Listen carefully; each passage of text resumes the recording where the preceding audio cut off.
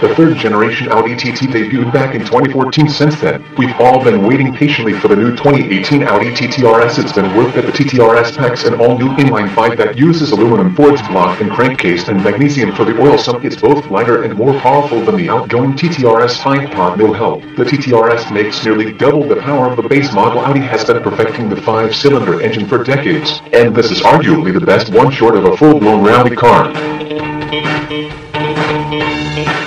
Thank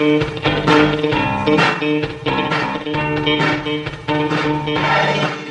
While the base TTRS starts at $65,875, this particular example had a number of options that pushed the price just north of $80k. This includes the $3,500 technology package with upgraded infotainment and audio system and the carbon fiber trim performance options include the $1,000 sport exhaust, well worth it, and the $6,000 dynamic plus package that swaps the magnetic suspension for a fixed setup, adds front ceramic brakes and raises the top speed to 174 mph. Raw performance numbers put the TT RS ahead of the Porsche 718 Cayman S, the BMW M2 and even the old Cayman GT4.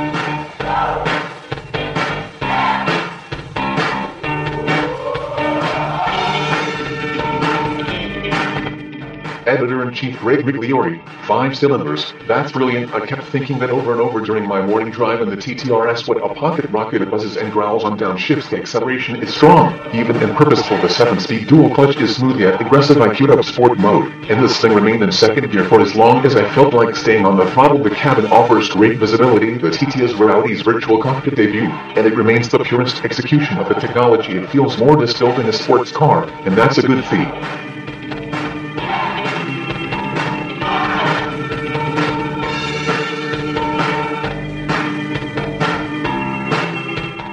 This tester is done up in with carbon finishings, suede and black leather, making for one of my favorite interior schemes the last time I drove the TTRS. I had a professional raw checker driver behind me on a track near Madrid. The intervals were spaced, but still. And some of that old adrenaline returned during tight cornering and exuberant launches.